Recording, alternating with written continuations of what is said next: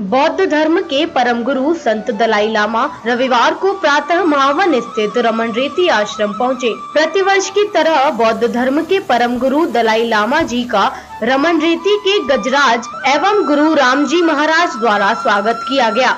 इसके पश्चात पहले वहाँ आए स्कूली बच्चों एवं दर्शन करने पधारे श्रद्धालुओं द्वारा उनका स्वागत किया गया।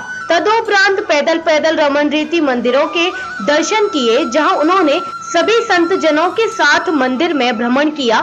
इस मौके पर प्रशासन द्वारा प्रमुख संत दलाई लामा को पूर्ण सुविधाएँ दी गई इसके पश्चात रमन रेती पांडाल में संत सम्मेलन में भाग लेने पहुँचे, जहाँ मौजूद सैकड़ों की संख्या में लोगों ने उनके आशीर्वचन सुने.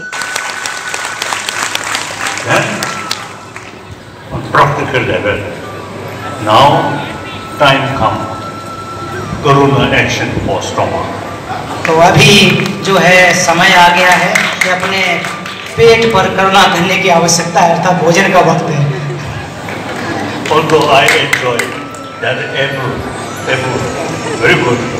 So, and also, one, there's time for show my teeth. और अभी जब मैंने सेब खा रहा था तो उस समय सेब खा के मैं काफ़ी आनंदित हुआ काफ़ी अच्छा सेब था और इसके साथ साथ आप लोगों को मैं अपने दांत भी दिखा रहा था Thank you.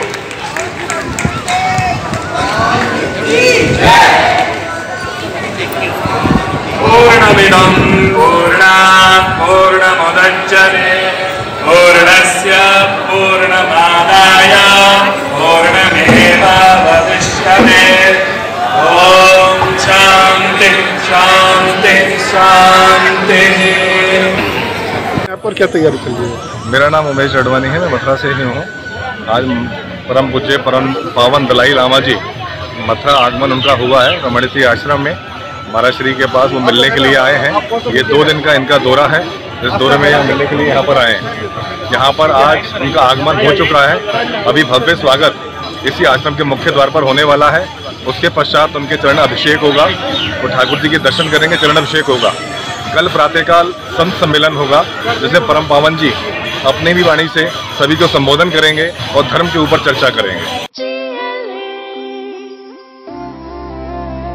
जो लक्ष्य चुना था, समझ आने लगा है।